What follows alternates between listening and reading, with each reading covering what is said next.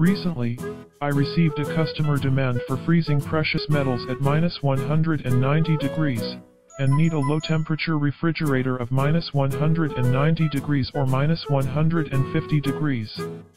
If you want liquid nitrogen refrigeration, ask us if we can do it.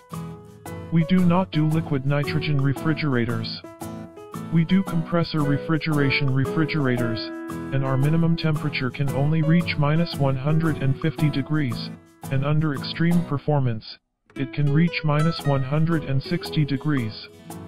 Compared with liquid nitrogen, 190 degrees still has a certain gap. We have so many years of product experience, like many of our customers, in fact, minus 60 degrees or minus 80 degrees are completely sufficient for use, and do not need minus 190 degrees.